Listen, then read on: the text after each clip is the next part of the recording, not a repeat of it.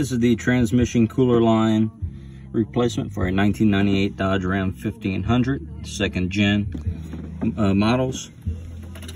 Um, I've seen online a lot of people were having problems with these, uh, saying they have a problem taking off these these quick connects on here. Um, that wasn't the case for me.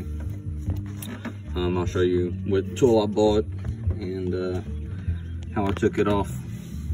Um, already took had taken this one off. Um, this was the only one that gave me a little trouble, but just don't be a girly man about it, you know. Put the shit on and and get it off, you know, and I'm gonna show you how. But, uh, I'll take this one off for now, let that drip in my pan. And this one is still connected, and I'll show you how to take that off. Uh, tools that I use was this disconnect tool, fuel and AC line. Um, I use the 3 eighths to get my line off. So you got 3 quarter, 5 8, half inch, and 3 eighths. This was bought at O'Reilly's. On the back here, D, the letter D is 3 eighths. real simple on this. Match them together and get your letter.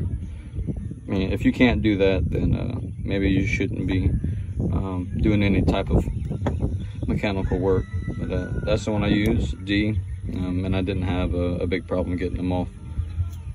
Uh, the other tools that you're going to need is a 19 millimeter for the uh, for the for the connectors on the transmission side, and uh, 3 eighths for this bolt right there that is holding those transmission lines up. Um, I think there is one more somewhere like that one further down. Um, but another tip, just make sure you take pictures of everything. Pictures of where these hoses go, where your clips are. So I just got a clip here holding these two lines together. Um, that one and, and then I think you have two more further down uh, on, on these transmission lines. The parts that I bought from O'Reilly's. By Dorman 624-832 and 624-824. My upper and lower cooler transmission lines. So I'm gonna show you how to use this tool real quick. I'm on the letter D for 3 eighths.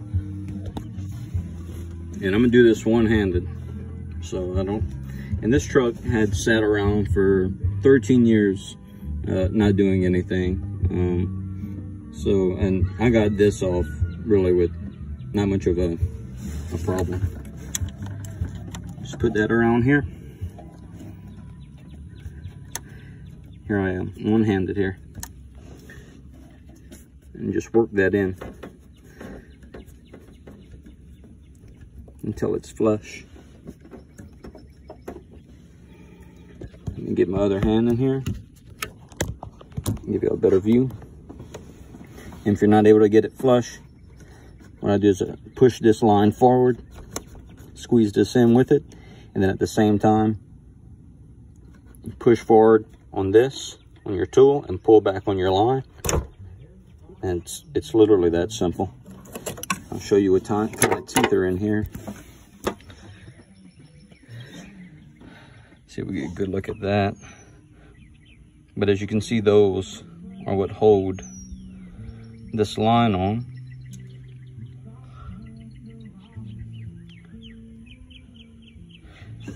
It's literally that simple. Um, I know other people are saying that they were using uh, plastic uh, from uh, from a milk jug. They cut it out and and wrapped it on there and pushed it in. And I mean, hey, what whatever works, you know. But uh, that little tool cost me like 10 bucks, and I got to use it for um, any AC lines or any lines like this that are different sizes. So, I mean, you you take your choice. If you want to use your your milk carton, go ahead. and uh, maybe a screwdriver just in case. You never know. All right, now that I have these lines here disconnected, we're gonna go ahead with our 19 millimeter and go to the other side where the transmission is, and we'll take those fittings off.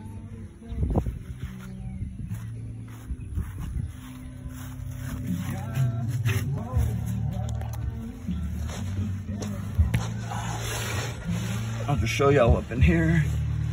So you have one line that runs right here. Just to show you that this 19 mil does fit very nicely, I might say. Okay, and I had already broken these loose before and they weren't hard to get off anyway. So 19 mil here, and then your other one is right in here. So undo these two. Make sure you get off on the, uh, look, here's another clip there I was talking about. That one's hard mounted. So I'm sure these just, uh, these lines would just pop out of that. Um, it seems like the only one that you have to undo with the screw is the one up front. One I was showing you that, the 3 eighths. Um, and then all the rest, you should just be able to pop these lines, hopefully out of the clips. Um, I haven't done it yet, obviously. Uh, so I'm gonna go ahead and I'm gonna take this off and I'm gonna run these other lines. And uh, I'll let you know which way I took it out and the best way, hopefully, um, that it comes out the, the easiest.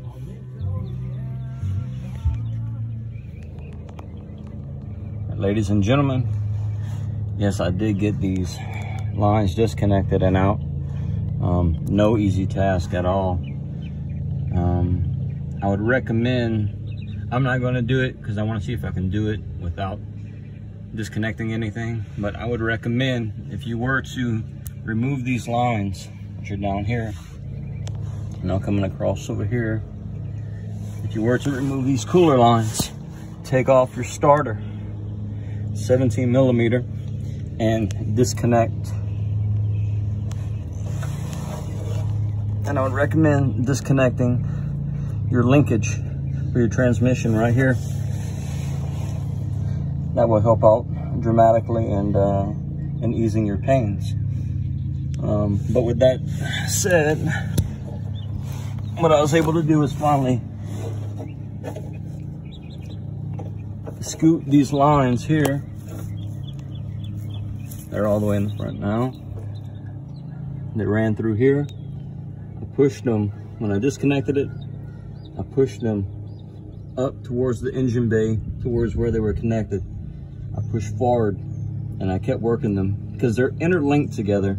It's like if you push one, then it hits the other. You got to move them both um, in conjunction with each other. But you push that forward as far as you can get. And then once I was able to get them get them past this area here, I was able to bring them down and slide them and slide them back from here back this way.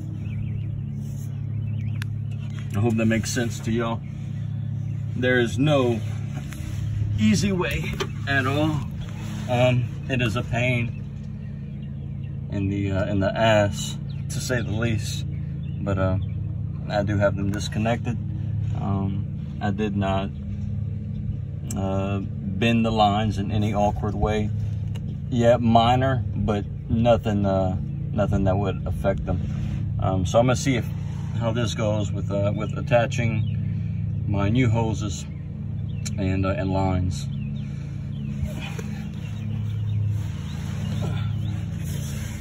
and a back look here for y'all. Let me bring out to the front. So what I was talking about was these lines are originally connected up here. What I did was once I was able to disconnect them from back there and unclip them, um, which was another pain in the ass on, on some of these. Uh, but once it, it was all unclipped, fed them up this way with the with the quick connect lines. I fed it up this way And once I was able to get it far enough this way, to a certain point, past the, um, past the starter, then I was able to bring them down. And I had to, yes, I did have to use force. Um, like I said, I, I didn't, I didn't bend them where it was like a bend that you wouldn't want to use these again if you needed to. So yes, you got to kind of go uh, think think outside the box and move them certain ways. Like I said, you, have to work with them together. Uh, you slide one and it hits the other. It, the other one stops the other one from wanting to come out. It's just the way that they, they made these. Um, my recommendation would almost be in just get a, a hose with a quick connect in and a jig fitting in and just and just run them. I mean, that right there, I mean, would save you all the time in the world. Um, but uh, I didn't. Uh, I didn't do that, so I, I, bought these other lines. But now that I think about it, um, and another recommendation when you're putting on these new lines, tape the ends. Tape both ends because there's a lot of trash, a lot of dirt, other stuff that you don't want falling inside your hose, obviously.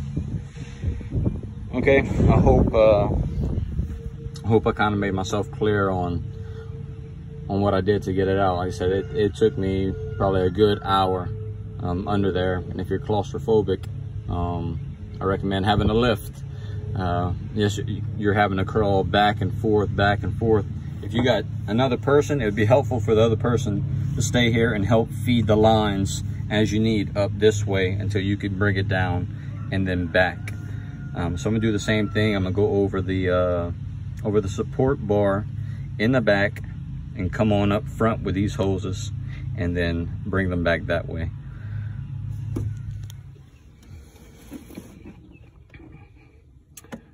So I have these two lines ran. They're not fully connected yet. Um, in the end, uh, yes, I did I did go ahead and uh, took off my starter and also took off that linkage. And uh, on that linkage, what I was talking about, all there is, you have your washer on there and then a small R-clip.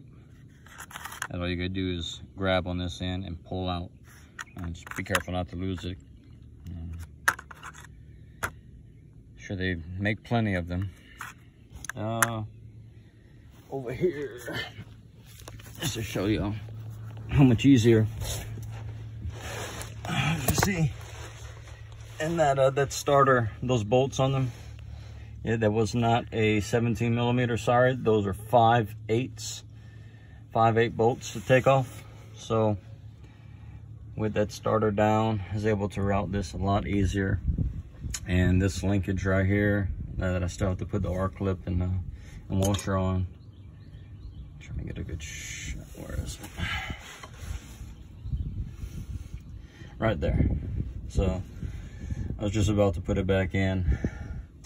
Um, but you can kind of see how that that is routed over. But once you pop that out, it just pivots on this uh, on this right here and, and swings out. So you're able to to put this in, put that line in, and then put it back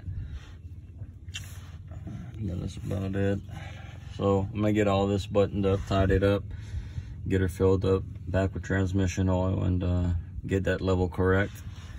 So my original problem was that um, the 3 8 uh, bolt in the front that, that has the holder,